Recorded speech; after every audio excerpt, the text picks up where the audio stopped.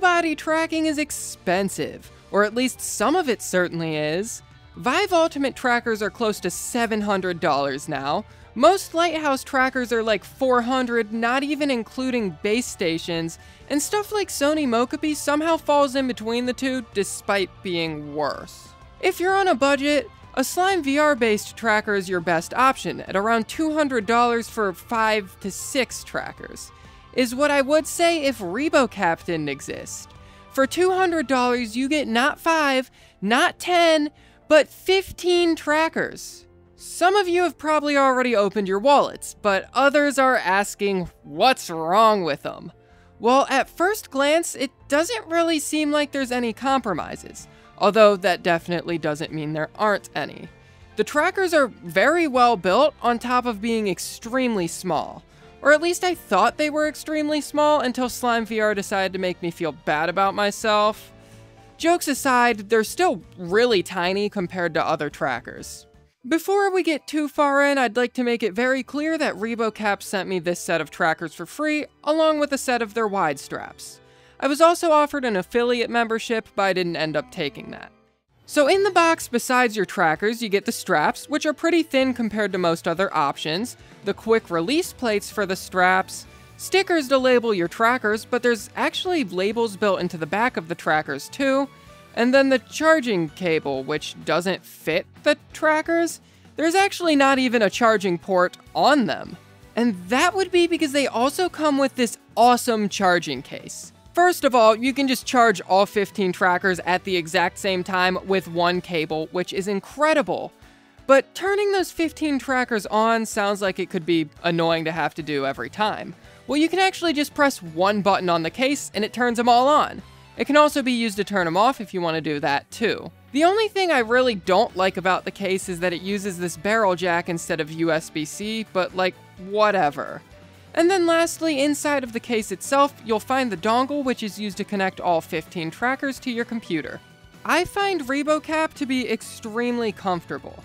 The straps they come with are super thin looking, but for me, they're pretty stable. I barely feel like I'm wearing them, and that combined with the smaller size of the trackers makes them really unobtrusive. They're great if you do a lot of stuff where you're getting on the trackers in a way, like laying down or kneeling, where normally if you had a bigger tracker, it would be digging into you or just completely lose tracking. They also do have wide straps. I don't really know much about them since I haven't bothered to use them since the stock straps are just so good for me. Okay, so then what is wrong with these things? Because not everything about them can be perfect if they're this cheap. It's probably something with the specs, so let's take a look at their website. Looking through it, one of the bigger things that stands out to me is that they market themselves as proprietary. Now, proprietary doesn't necessarily mean bad, but I certainly think bad when I see it, especially when their biggest competitor is free and open source. The real red flag on their site, though, is that they don't list an IMU model. If you're not aware, IMUs for trackers like these basically just determine how fast they drift. Now, I had a guess on what they were based on the specs that are listed, that being ICM 20948s, which generally is a pretty bad IMU. I actually asked ReboCap since I was really confused because I was getting better drift times than I would expect out of an IMU like that. Well, the answer's actually worse. They're using MPU 9250s, which in general are absolutely terrible. Somehow, ReboCap manages to make these work using great software. I'm actually extremely impressed with their software. Even putting performance aside, they just do a lot of things good. Don't know what a specific button or feature does? Well, each panel has a question mark you can click that takes you right to their documentation. You can do things like change the RGB on your trackers or flash new firmware without having to use a separate flashing tool. Are you done for the day? Well, you can just press one button to turn all the trackers off in case you don't want to put them all back into their case. How well do the trackers perform, though? One thing to note is that you can only use 12 at a time for VR. That is kinda overkill though, since most social VR games only support 11 point tracking and 3 of those points are your headset and its controllers. Setting that aside, one of the first things I like to check with IMU trackers is how floaty they look.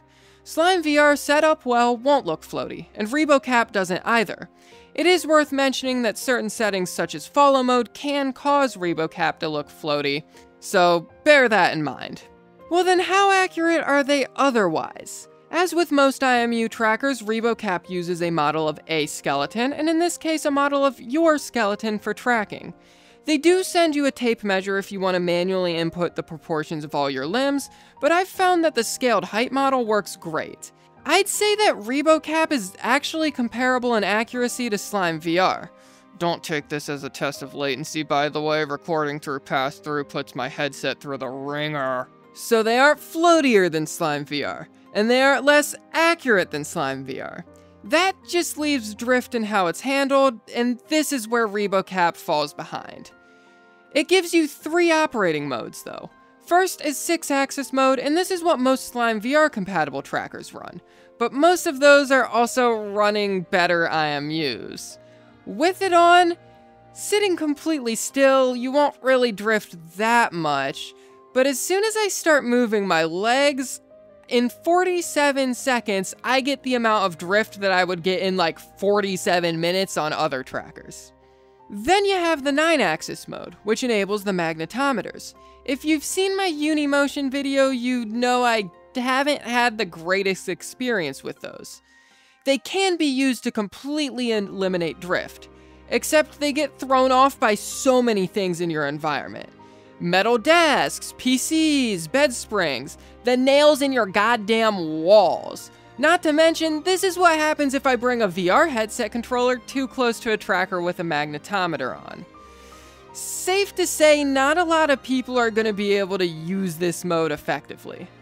If those were the only two operating modes ReboCap had, then I would say it is absolutely not worth the money. Thankfully, there is the third operating mode, anti-magnetic mode, and this is what impressed me the most. With it on, the magnetometers are also on, except if they detect something weird, they'll just ignore it. I can actually move controllers near my trackers and they won't freak out.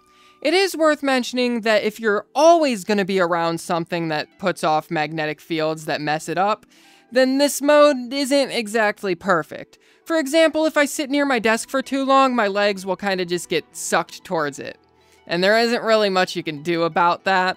So if you have a really bad magnetic environment and you just can't get away from stuff that's causing interference, then this mode probably isn't gonna save you. The drift in this mode is much less than 6-axis mode, but it's definitely still there. If I'm not moving around a ton, I'd say maybe like 30 minutes, but if you're doing some sort of high motion activity, even saying like 20 would be pretty damn generous. How do you reset drift? Slime VR lets you just double tap your chest tracker, and ReboCap has its own version of that.